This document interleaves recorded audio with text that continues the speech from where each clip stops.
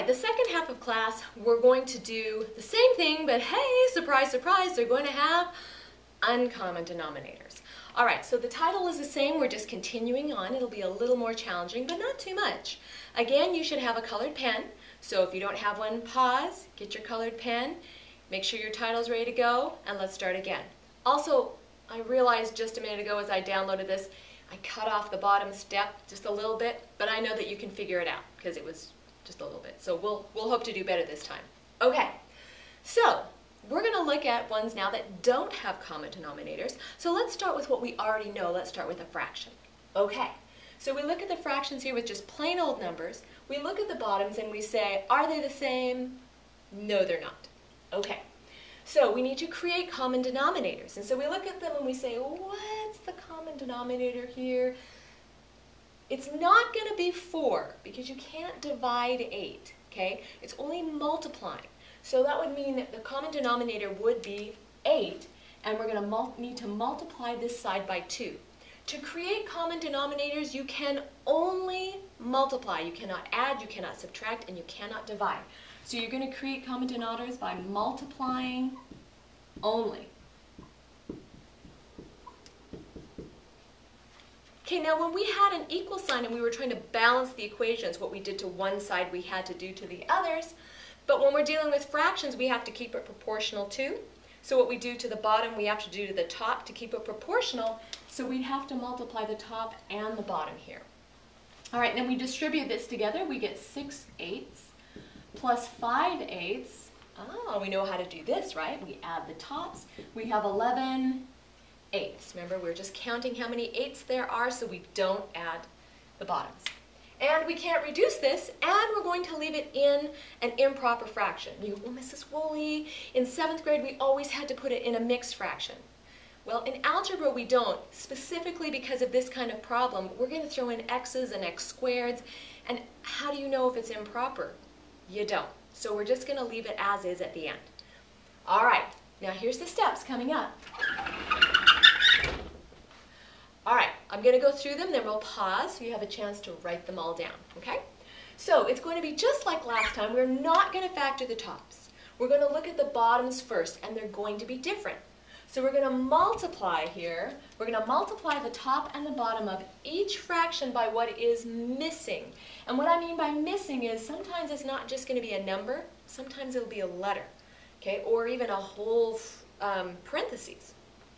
All right, then we're going to distribute the tops and the bottoms together. Then we can factor and reduce and rewrite. It's exactly the same as before, except we have this top thing right here. Okay, I know it went fast, so we'll pause, get it written down, then we'll do some examples. All right, here's our examples. So we're going to start with 4x plus 7 divided by 6 and 3x minus 1 divided by 2. They look complicated.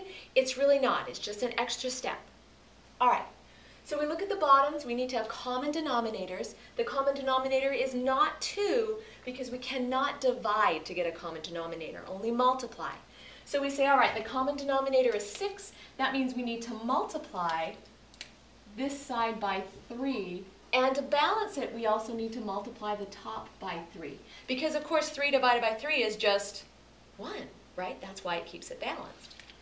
All right, then we're going to need to distribute here, bloop, bloop, and we're going to end up with 4x plus 7 over 6, nothing changed there, plus 3 times 3x is 9x, 3 times negative 1 is going to be negative 3 over 6.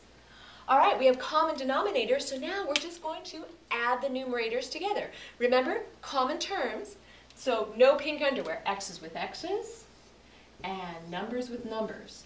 So we're going to have 4x plus 9x's gives me 13x's. And 7 minus 3, remember the sign in front, gives us a positive 4, all divided by 6. Now, is this our answer? Yes, because we do not have a common denominator here. There's no x squared. We can't factor, so we're done. All right, here's the one where I talked about things. So check this out. The denominators here are 4 and x. So what's the common denominator? And you go, Mrs. Woolley, I have no idea. How do I know? Well, think about a fraction. if you had a 3 and a 5, what would the common denominator be? You just multiply them together and say, oh, it's 15. We can always do that. So what's the common denominator between 4 and x? We just multiply them together. 4 times x is 4x. That's our common denominator. So if our common denominator is 4x, what are we missing on this fraction? Well, we're missing an x, 4 times x. So we're going to multiply top and bottom times x. Over here, we're missing a, a 4. So we're going to multiply top and bottom times 4. All right, let's distribute and see what we got here. That means we're going to have 2 times x, which is just 2x. 4 times x is 4x. Minus 2 times 4 is 8. And x times 4 is 4x. Beautiful. We have common denominators. So now we can subtract our numerators. We have 2x minus 8 over 4x. Are we done? Well, we got to see if we can factor. This can't be factored, it's a single term. Can this be factored? Yeah, right? Look for the GCF first. The GCF is 2. Our leftovers are x minus 8 all over 4x. And now we're looking at things that are exactly the same or unattached. These guys are unattached, so you can reduce the 2 and the 4.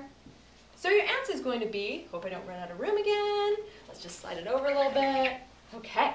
So our answer is going to be x minus 8 divided by 2x. Now, you might say, Mrs. Woolley, do I have to have the parentheses around the answer? No, you don't.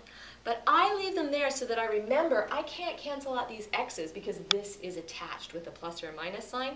That way I know I'm done reducing. All right, ladies and gentlemen, pause so that you can have a chance to write this down. And then the substitute's going to hand out your homework for the evening.